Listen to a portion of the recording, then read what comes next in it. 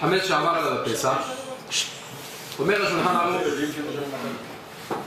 חמץ של ישראל שעבר עליו הפסח אסור בהנאה ואפילו אם מניחו שוגג או אנוס ואם מחרו או נתנו לאינו יהודי אף על פי שהישראל מכיר ליהוד, לגוי ויודע בו שלא ייגע בו כלל ישמרנו עד לאחר הפסח הרי זה מותר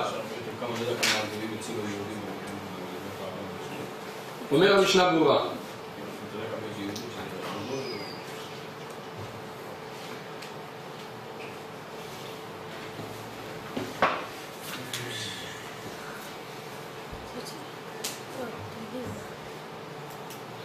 אומר המשנה ברורה. השולחן ערוך כותב הלשון של השולחן ערוך אם מחרו או נתנו לגוי שמחוץ לבית קודם הפסח. לגבי פיקדון הגוי מפקיד את החמץ שלו אצלך בבית. אבל כאן אנחנו מדברים שאתה מוכר לגוי את החמץ שלך. השולחן ערוך כתב שאתה מוכר לגוי את החמץ שלך שהחמץ יהיה מחוץ לבית. אל תשאיר את החמץ בבית שלך.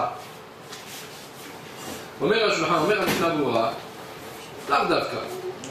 העיקר הקפידה שהוציא הגוי את החמץ מבית ישראל.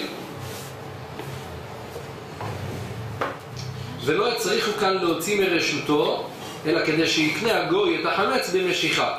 אבל הנה חינם אם הגוי יוציא את החמץ וקנה במשיכה אז מותר לו אחר כך להכניס את החמץ לבית של הישראל ומספיק מחיצה עשרה בלבד.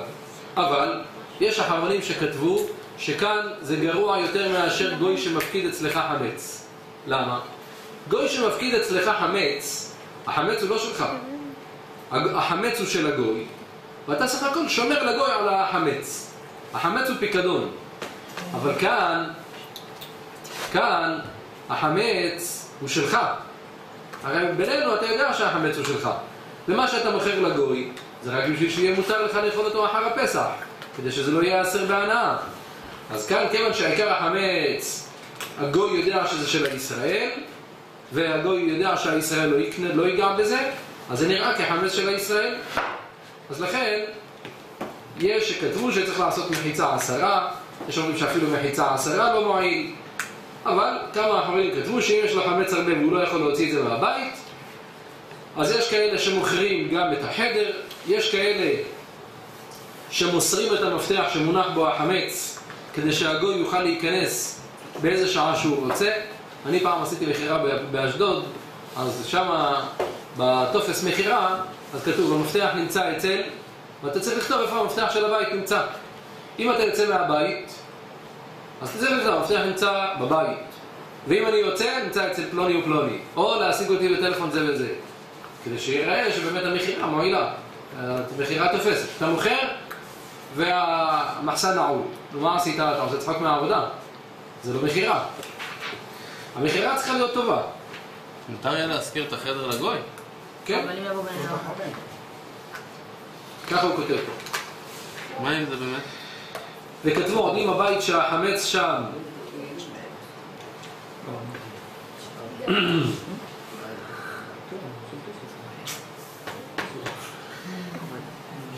אם הבית שהחמץ שם אין לו שלו אלא שסחור בידו אז לא יועיל מכירתו כי למכור את הבית הוא לא יכול אז יזכיר לגוי את אותו החדר. ויזכיר לו סתם להחזיק בו כליו ומטלטליו. מה? אתה מזכיר לו את הבית לא בשביל לגור שם לא, תח... לא תחונם, גמרא דורשת בעבודה זרה, כף, לא תחנם אל תיתן להם חניה בקרקע. אז לא תחנם, אל תיתן לו חניה בקרקע לגור שם. אבל, אבל להניח שם את החפצים אני נותן לו אפשרות יש לך אפשרות להניח פה את המיטלטלין שלך יש לך חבילת ביסקוויטים, נכון? קנית אותה? אתה צריך מחסן? אני מזכיר לך את זה לפסח שבעה ימים אני מזכיר לך אז זה מותר, אין בזה תורה מה זה לא תחונם? זה לא תגיד שהם חמודים, אל תגיד שהם טובים זה שלוש דרשות הגמרא דורשת לא תחונם, אל תיתן להם חן לא תחונם מלשון חן לא תחונם, מלשון לא תחנם, אל תיתן להם חניה וגם לא תחונם כאילו לא לתת לו כאילו פידבק, אל תיתן לו, כן, אתה עובד טוב, אתה שייך. האמת, נתקלתי את זה בבית, אני לא ידעתי שזה ככה, הייתי כל פעם קונה לו סיגור, קונה לו זה בבית שלי בסוף תוכנית. אומרת הגמרא, אומרת הגמרא, כי הדה אמר לאו רבא, חמש שורות מלמטה, שניר, כי הדה אמר לאו רבא, לבני מחוזה, מבחינת השורה. דלת קטנה כזאת. חמש שורות מלמטה, בתחילת השורה, כי הדה אמר לאו יד אמר למחוזה, בעירו, בעירו חמירה, מבתייכו, כיוון דאילו מגנב, ואילו מדוד ברשותייכו, קאי. והייתו לשלומי כדלכון. כדלכון דמי. כדלכון דמי ועשו. רבא אמר לבני מחוזה, החיילים של המלך היו עוברים שם, והיו משאירים להם שם אהרון, החיילים של המלך היו משאירים לבני, לבני העיר שם, היו משאירים להם סולת, אומרים להם תעשו לנו קוסקוס, אנחנו נבוא נאכל. אז הסולת זה שייך למי? לגוי. אבל איפה זה נמצא בבית? ליהודים.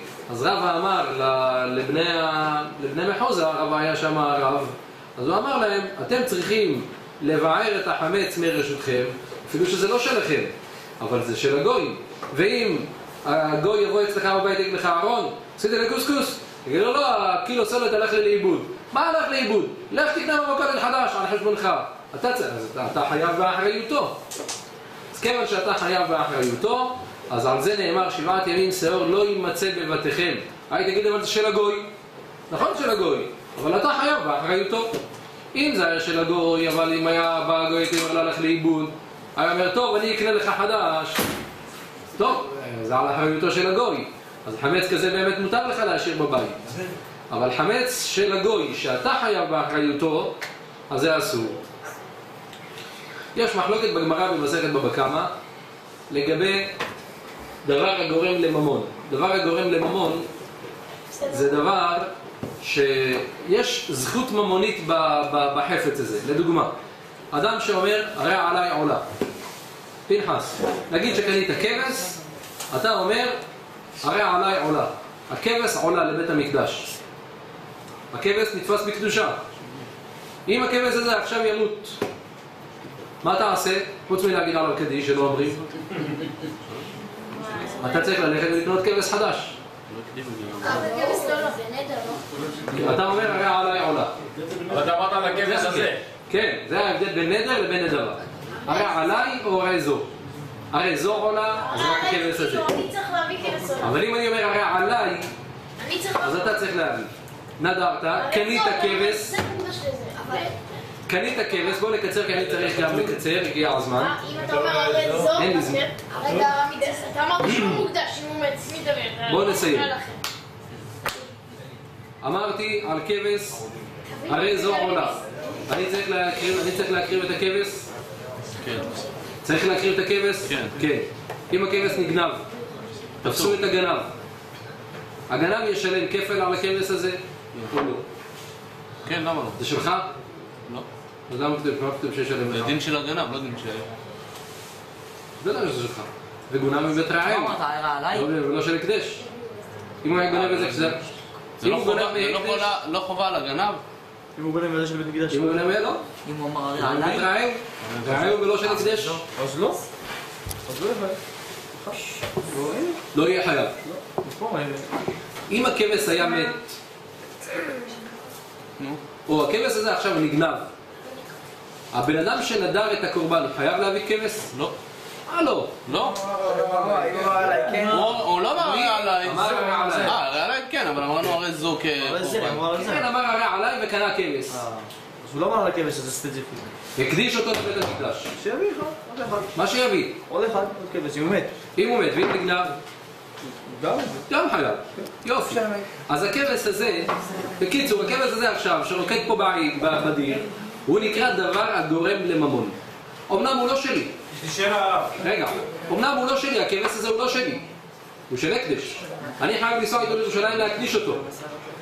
אבל כל זמן שהוא חי, וכל זמן שאני יכול להקדיש אותו, כל זמן שאני יכול להביא אותו, אז הוא גורם לי שאם הוא לא הלך לאיבוד, אם הוא ילך לאיבוד אני מחויב, ואם הוא לא הלך לאיבוד, אז הרווחתי כבש.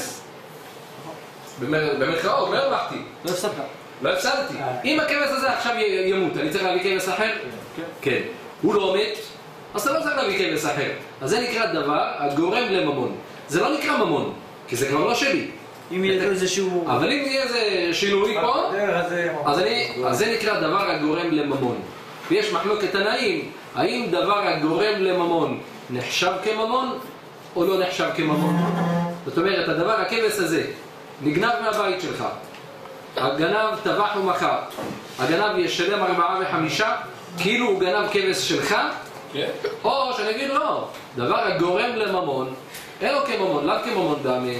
זה מחלוקת תנאים שם במשנה במסכת בבא קמא, בעזרת השם נמשיך מחר. רגע, כולם בהקדש?